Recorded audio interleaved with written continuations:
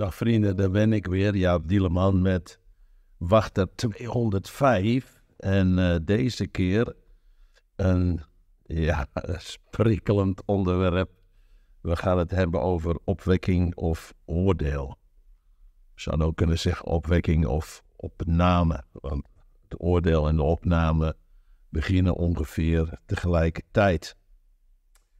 Um, u weet waarschijnlijk net zo goed als ik dat er heel wat profetieën zijn geweest uh, over uh, de tweede termijn van uh, president Trump. nou kan het ook nog zijn dat er een interval is en dat hij opnieuw wint. Maar lieve vrienden, de misleidende gedachte achter veel van die profetieën is dat hij zou toen bij de laatste verkiezingen gewonnen hebben en in het Witte Huis zitten en er zou een opwekking komen enzovoorts. En er zijn wel zeker veertig profeten geweest die dit geprofeteerd hebben en het is niet gebeurd. En dan wordt er wel een draai aan gegeven in de zin van, uh, ja, hij heeft wel gewonnen, maar het is gemanipuleerd. Maar als je zegt dat hij in het Witte Huis zou zitten en die regeerperiode zou regeren, moet je gewoon erkennen, uh, er is misleiding geweest. Deze profetieën kloppen niet. Uh, nou, zijn er ook mensen die nu hun hoop uh, opnieuw gaan stellen in de verwachting dat straks uh, met de nieuwe verkiezingen uh, eind dit jaar, begin volgend jaar, Trump wel weer zou terugkomen. Maar de verkeerde verwachting is, de verwachting is van Trump. En ik zeg heel eerlijk, ik weet niet of Trump terugkomt. Ik weet dat Jezus terugkomt. En daar moet onze verwachting op geënt zijn. Alles wijst op zijn spoedige terugkeer.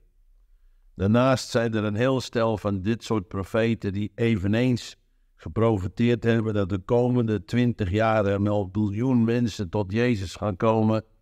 En de komende twintig jaar, lieve mensen, ik zeg heel eerlijk, en misschien vind je mij de luis in de pels en wil je helemaal niet horen wat ik zeg, want ik geloof helemaal in geen twintig jaar. Ik geloof dat Jezus veel eerder terugkomt. Ik geloof dat hij op het punt staat om terug te komen voor de zijnen op de wolken bij de laatste bezuin.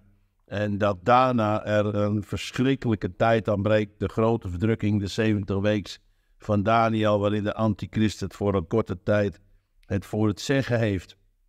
Dit zie ik in de schrift en deze visioenen en profetieën, die klinken erg aannemelijk en uh, ik zou wel willen dat ze gelijk hadden, maar de eerlijkheid gebiedt mij u te zeggen dat ik dat niet in de Bijbel zie. Um, ik wil wel een nuance aanbrengen. Ik geloof wel dat als wij in de verwachting van Jezus leven, en dit blijkt ook zo te zijn, degenen die werkelijk in die verwachting leven, die uh, kijken niet over twintig jaar, maar die denken hoeveel kan ik nog zielen winnen. Ik geloof in de grote oogst in deze tijd dat we nog vele zielen mogen binnenbrengen. Ik geloof daarom ook best wel in pockets van uh, revival. Hè? Dus uh, op plekken dat er een revival is en opwekking in, in gemeenten. Maar een wereldwijde revival en reformatie van de samenleving, zoals door vele profeten uh, met vuur en verven is verkondigd, is in mijn ogen gewoon een misleidende dwaling die niet klopt met de schrift. ik, ik zou willen dat ze gelijk hadden, maar ik zie het niet in de schrift. Integendeel, en ik lees hier uit uh, Matthäus 24. En dan heb ik uh, slechts een paar teksten, vers 4 en 5, vers 11 en vers 24. Er staat dit en Jezus antwoordde en zei... Zie toe dat niemand u verleiden, want velen zullen komen onder mijn naam, onder mijn naam, niet in mijn naam, maar de naam van Jezus is als een dekmantel gebruikt en zeggen, ik ben de Christus, en zij zullen velen verleiden. En vele valse profeten zullen opstaan en vele zullen zij verleiden. Want er zullen valse Christussen en valse profeten opstaan. En zij zullen grote tekenen en wonderen doen, zodat zij, waar het mogelijk ook de uitverkorenen, zouden verleiden. Nou, ik zit niet in het kamp dat ik niet geloof in wonderen. En ook niet in grote wonderen, want daar geloof ik wel degelijk in. Ik heb zelf ook geweldige wonderen gezien van genezing. Dove oren open, stommen die spraken, lammen die lopen. En het is heerlijk om dat te beleven. Maar, uh, dus je kunt ook niet iedereen die dus in de salving van de genezing functioneert, in dit kamp plaatsen van valse profeten. Maar er zijn valse profeten die ook wonderen, bedriegelijke wonderen doen. En de Bijbel zegt hier, Jezus zegt, dit zijn, dit zijn drie tot vier keer in Matthäus 24.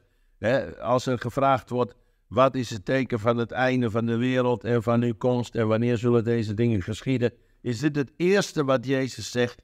Misleiding en afval.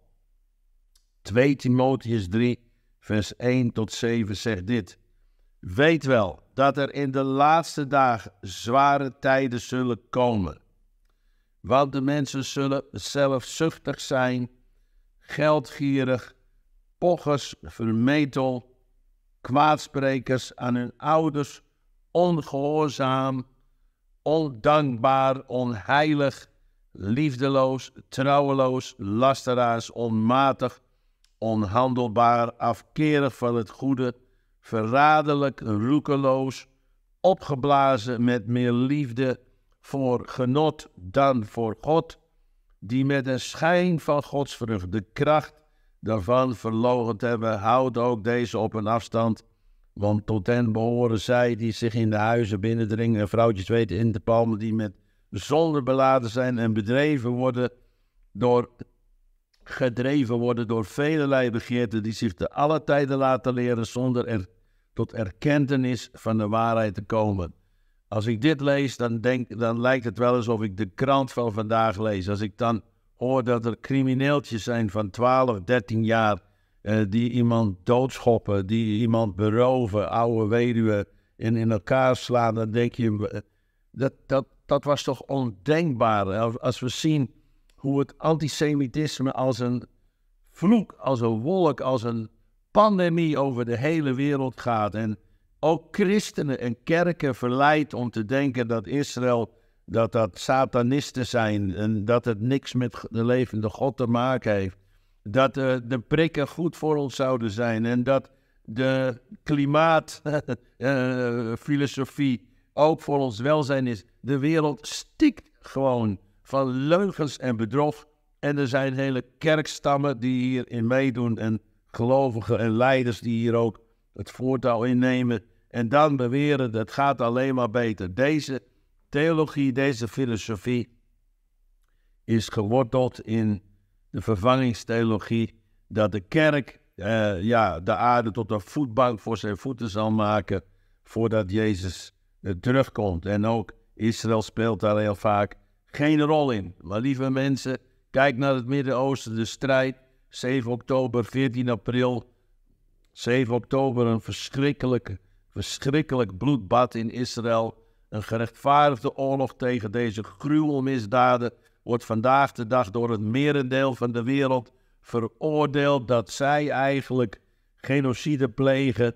De werkelijkheid is heel anders, maar de leugen regeert in deze wereld. En hele kerkstammen doen er helaas ook aan mee. 2 Thessalonicense 2 vers 3 zegt, laat niemand u misleiden op welke wijze dan ook. Want eerst moet de afval komen en de mens de wetteloosheid zich openbaren, de zoon des verderfs. Velen hebben deze tekst fout geïnterpreteerd en die zeggen, zie je wel, eerst moet er een afval komen en de mens der wetteloosheid zich openbaren, voordat Jezus komt. Ja en nee, voordat hij komt wel, maar niet voordat de dag des Heren aanbreekt.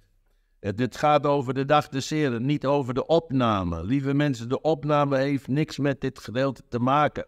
Die is voor die tijd. Want uh, hij wordt weerhouden door de gemeente vol van de Heilige Geest. En hij kan niet eens komen zolang de gemeente niet is weggenomen. Maar degene die zeggen, de komende twintig jaar gaan we een wereldwijde opwekking uh, zien en dan definiëren ze opwekking eigenlijk bijna als een reformatie.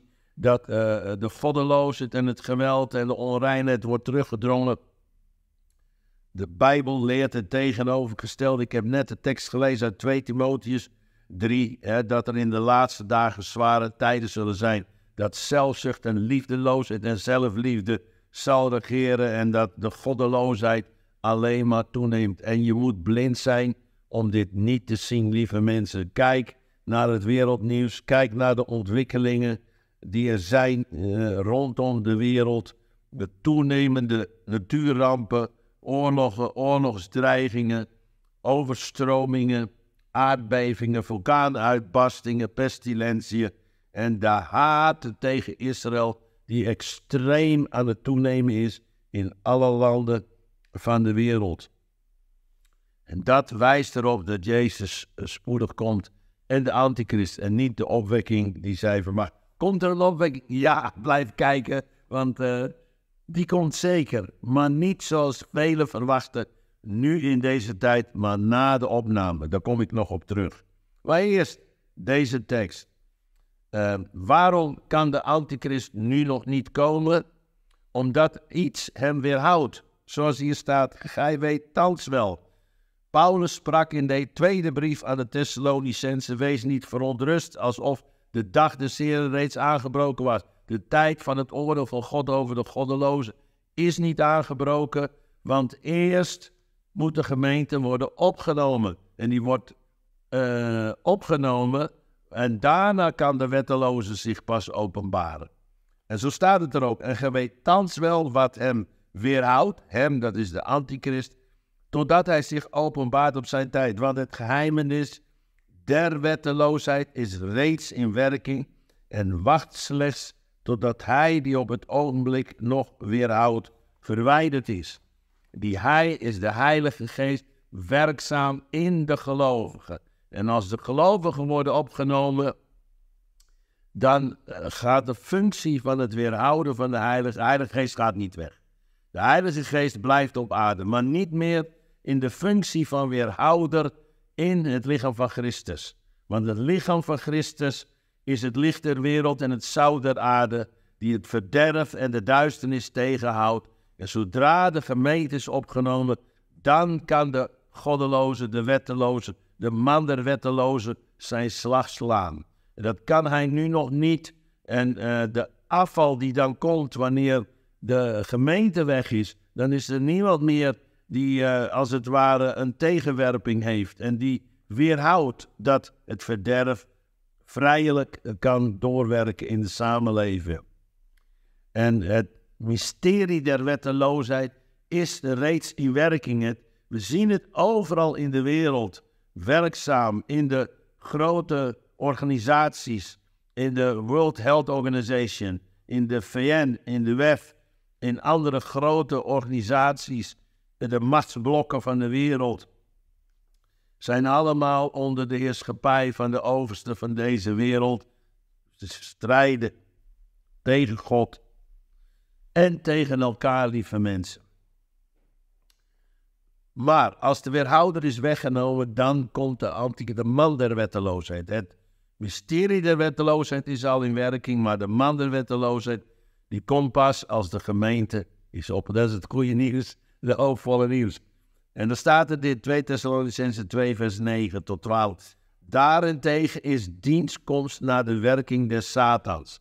De antichrist is de vertegenwoordiger van de overste van deze wereld, Satan, de gevallen engel, met allerlei krachten, tekenen en bedriegelijke wonderen. Wat zien we hier? Misleiding. En met allerlei verlokkende ongerechtigheid. Voor wie? Voor hen die verloren gaan. Waarom? Omdat zij de liefde tot de waarheid niet aanvaard hebben. Een andere vertaling zegt, omdat zij de liefde voor de waarheid verworpen hebben. Als je Jezus verwerpt, de waarheid, dan val je bijna automatisch ten prooi aan de vader der leugen. Want het is de waarheid en de leugen. Man te staat omdat ze de liefde voor de waarheid niet aanvaard hebben, waardoor zij hadden kunnen behouden worden. En daarom zendt God. God is degene die de dwaling zendt. Lieve mensen, de duivel kan helemaal niet misleiden als God geen toestemming geeft om die dwaling vrij te zetten. God zendt een dwaling die bewerkt dat zij de leugen geloven. Wie zijn die zij die de waarheid hebben verworpen? Opdat allen worden geoordeeld die de waarheid niet geloofd hebben, doch een welgevallen hebben gehad in de ongerechtigheid. Als wij de leugen omhelzen, dan zullen wij ook in de valkuil van de leugen trappen. Want God zendt die dwaling. En ik ga straks een verhaal ook lezen. Ehm, dat ga ik nu dan doen. Uh, uit het Oude Testament, wat dit zo duidelijk inspireert en illustreert. In 1 Koningen 22, vers 5 lezen we dat koning Agab de strijd wil voeren tegen uh, uh, ja, een, een, plek die ze willen terugveroveren. En uh, dan heeft hij koning Jozefat van Israël als handlanger in die strijd. En ehm, dan zijn ze vergaderd, want hij wil Ramoth in Gilead terugveroveren. Dat behoorde destijds aan, um, nou aan Israël. En uh, dan is hij daar met koning Jozefat. Je leest dat in 1 Koningen 22. En dan zijn er 400 profeten. En Jozefat uit Israël, uit Jeruzalem, die zegt: laten wij eerst het woord van de Heer raadplegen. Dat is een goed advies. Alleen, het punt is, die 400 profeten waren broodprofeten. Het is net als die 40 profeten die zeiden: Trump gaat een tweede termijn aansluiten. Het is helemaal niet gebeurd, lieve mensen. Het is gewoon niet waar. En de, we hebben de moed nodig. Ik dacht ook dat hij een tweede termijn zou uh, krijgen. Ik heb niet geprofiteerd, maar ik leefde wel in die verwachting. Maar het is niet gebeurd. En, en misschien is hij ook wel door leugens en bedrog nooit in het Witte Huis gekomen. Maar het verandert niks aan het feit. God regeert. Hij bepaalt wie er daar zit. Hij heeft toegestaan dat het liep zoals het liep. En de profetieën deugden dus niet.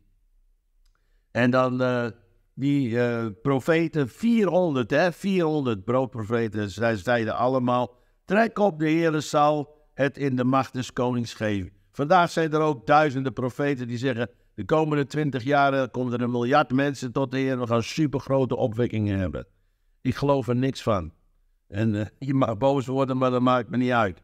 Agab zei, en dus, uh, hoe heet het, Jozef wat, die zei, is er niet nog een profeet? Ja. En Agab zei, er is nog één man door wie wij de Heer kunnen raadplegen, maar ik haat hem, omdat hij over mij nooit iets goeds, maar alleen maar onheil profeteert. En nou, oké, okay, dus we halen maar. Nou, de bode nu, die Micha ging halen, zei tegen hem: Zie, de profeten hebben eenstemmig gunstig voor de koning gesproken. Laat dan toch uw woord zijn als dat van een ieder hunner en spreek gunstig. Weet je, je ziet vaak groepen mensen bij elkaar, een klikje leiders, en uh, ze zijn het allemaal met elkaar eens. En dan ben jij gewoon de spelbreker. Jij zegt, de koning heeft geen kleren aan en loopt in zijn blote kont. Hè? Ik ken waarschijnlijk dat sprookje wel. Nou, dan ben jij de spelbreker. Dan ben jij de valse profeet in hun ogen. Nou, Micha was zo'n kerel. En uh, kijk, hij werd onder druk gezet. Eigenlijk, joh, uh, wees nou uh, geen spelbreker en zeg ook maar iets goeds. Maar ik hou zo van die merken, Micha. En ik kan me er best wel een beetje mee identificeren. Maar Micha zei, zo waar de Heer leeft, voorzeker wat God zegt, dat zal ik spreken. Toen hij tot de koning gekomen was, vroeg de koning: Zullen wij tegen Ramat de Gilead de strijden trekken of zal ik het nalaten? Hij antwoordde: en Hier zie je het cynisme en je kunt het tussen de regels wel lezen en proeven. Trek op en je zult voorspoedig zijn. Ze zullen in uw macht gegeven worden. Maar de koning proeft natuurlijk de ondertoon van het cynisme. Maar de koning zei tot hem: Hoe dikwijls moet ik u bezweren dat gij tot mij slechts de waarheid spreekt in de naam des Heer. En Micha zei de waarheid niet, in eerste instantie niet. Waarom? Die koning wilde heel de waarheid niet horen. En vandaag de dag zijn er ook miljoenen christenen die willen hun oren kietelen en willen geloven. Ik zou ook wel willen dat het zo is, maar het woord van God zegt iets anders, lieve mensen. En ik zal het woord van God spreken. En wat gebeurt er dan? Hij, hij dwingt hem als het ware ja, hou me nou niet van de gek met je cynisme, hè, met je met je cynische opmerkingen. Ik wil dat je nu mij de waarheid vertelt. En Micha die doet dat dan ook. En die zegt dan, ik zag heel Israël op de bergen verstrooid als schapen die geen herder hebben. En de Heere zei, deze hebben geen heer en ieder keer in vrede terug naar zijn huis.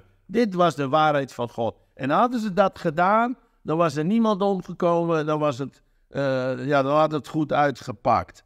En, uh, want ik zie ze als verstrooid als schapen voor een herder. En ze hebben geen heer. En iedere keer een vrede naar huis. Toen sprak de koning van Israël tot Jozef: Heb ik u niet gezegd? Hij profiteert over mij niets goeds, enkel onheil. Dit is geen onheil. Dit is juist om hem te beschermen dat hij zou sterven in de strijd, zoals we in de volgende stukje lezen. Micha zei, daarom hoort het woord des Heren. Ik zag de Heer op zijn troon zitten, terwijl het ganse Heer des hemels rechter en zijn linkerhand stond. En de Heer zei, wie zal Agab, de koning van Israël, verleiden, zodat hij optrekt en sneuvelt te Ramot in Gilead? God had zijn dood voor ogen. God was klaar met die man. De een zei dit, de ander dat. Toen trad er een geest naar voren, stelde zich voor de Heer en zei: Ik zal hem verleiden. Hoe dan? vroeg de Heer. Hij zei: Ik zal heen gaan en een leugengeest worden in de mond van al zijn profeten. Geen nieuw verhaal, dat gebeurt ook in deze tijd. Er zijn genoeg van die profeten die al die, die gouden bergen beloven en er niks van waarmaken. Maar de realiteit is, we leven in de laatste dagen en de oordelen Gods komen over deze wereld. En Jezus komt terug om de zijne op te nemen in heerlijkheid. Dat is de waarheid. En de Heer vroeg hem, waarmee? Ik zal een leugengeest worden in de mond van zijn profeten. Wat zegt God? Ga heen, uh, uh, gij moet hen verleiden en gij zult er ook in staat zijn. Ga heen en doe het.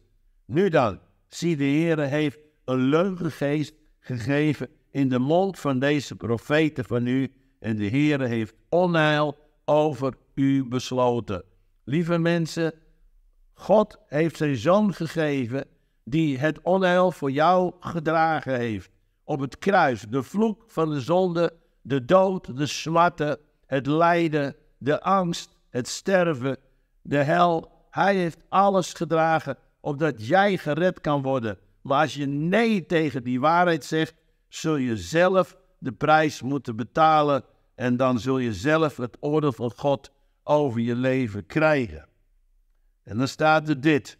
Doch Micha zeide, hè, want de koning werd boos. En een van die profeten kwam naar Micha en die gaf hem een klap voor zijn kaak. Ja, je wil niet weten wat er tegen mij gezegd is, omdat ik durf te spreken over de komende oordelen die over deze wereld komen.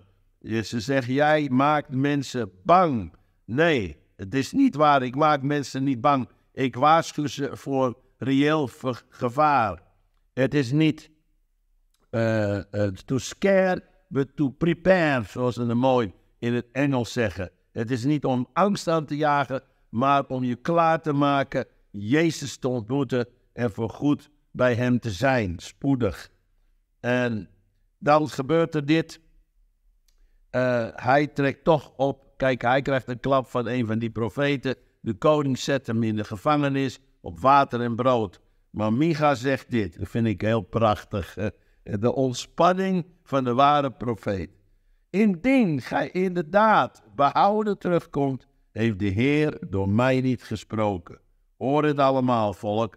Eh, als het niet uitkomt, dan was het geen woord van God. Relax maar, de tijd zal het leren. Maar wat zien we? De koning, koning Agab, doet zijn staatsiegewaad uit, probeert anoniem in het leger te gaan, maar God voorziet erin dat een verdwaalde pijl hem treft tussen zijn borstschild en zijn rugschild en hij sterft, zoals geprofeteerd was, door Elia de profeet bij de poel van uh, uh, Samaria, waar de honden het bloed lekten al geprofiteerd voor die tijd door Elia. Exact.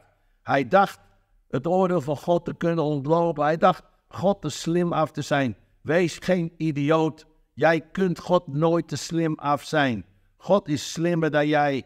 En het oordeel kun je niet ontlopen. Jawel, je kunt het wel oplopen. Op één manier. Bekeer je en geloof in de Heer Jezus.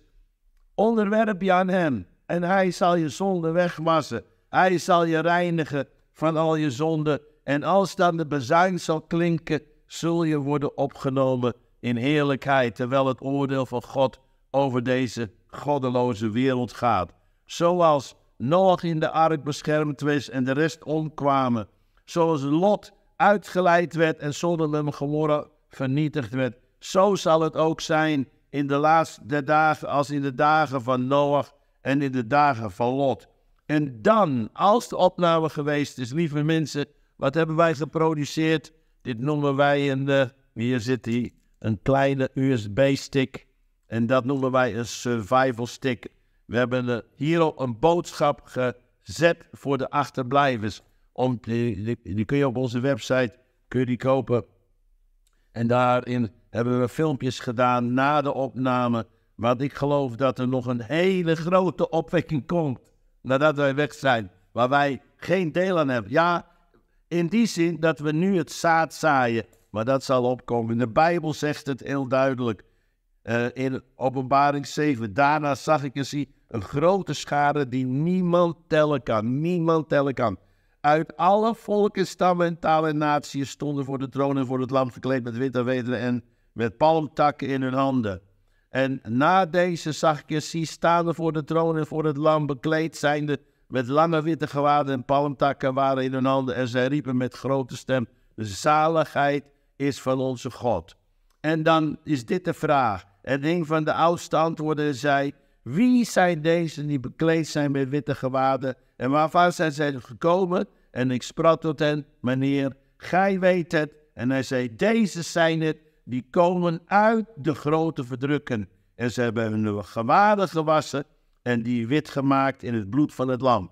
Je kunt me nou een belachelijke idioot vinden met de boodschap van de opname en het oordeel. Maar als straks de opname er is en het oordeel losbarst, zullen miljoenen mensen beseffen dat we de waarheid hebben gesproken en zullen uh, angstvallig gaan zoeken naar een uitweg. En die is er, al moeten ze die met de dood bekopen, om dat te kiezen voor Jezus, ook in de grote verdrukking. En God heeft daar een speciaal leger voor van 144.000, dat zijn geen Jovens getuigen, 12.000 uit al de stammen van Israël, die een unieke rol vervullen in die zeven jaar van de grote verdrukking. En daarnaast zijn daar nog de twee getuigen in openbaring 11, die bijzondere krachten hebben en waar Satan niks tegen kan doen. En die pas gedood worden nadat ze hun missie hebben vervuld. En verder zegt de Bijbel in openbaring 14. En ik zag een andere engel vliegen in het midden des hemels. En hij had een eeuwig evangelie om dat te verkondigen aan hen die op de aarde gezeten zijn. En aan alle volk en stam en taal en natie. God heeft zijn dienstknechten, en niet de gemeente, in de grote verdrukking om een geweldige opwekking nog te bewerkstelligen. Maar lieve vrienden, je mag nu al ontsnappen aan dat oordeel door een keuze voor Jezus te maken. Mijn gebed voor jou is, en voor iedereen die dit filmpje kijkt, maak je keuze. Kies dan vandaag wie je dienen wil. Onderwerp je aan de Heer Jezus Christus, de Zoon van God die gezonden is om de losprijs te betalen. Het schaduwbeeld in het Oude Testament was het bloed aan de deur en de doodsengel ging voorbij. Als dat bloed van Christus aan de deur van jouw hart is, zal de doodsengel voorbij gaan. Dan gaat het oordeel aan je voorbij, want hij heeft het voor jou gedragen op het kruis van Golgotha. Dat is de ultieme boodschap van het evangelie. En dat bid ik al mijn luisteraars toe. Stel je vertrouwen op de Heer Jezus Christus en je zult behouden worden. Kies voor Hem en je zult eeuwig leven. Als we weg zijn voor volgende week, is dit mijn laatste boodschap. Maar het kan net zo goed zijn dat we er nog zijn. Dan hoop ik opnieuw u te bemoedigen vanuit het woord van God. Halleluja. Bedankt voor het kijken en Gods rijke zegen. Amen.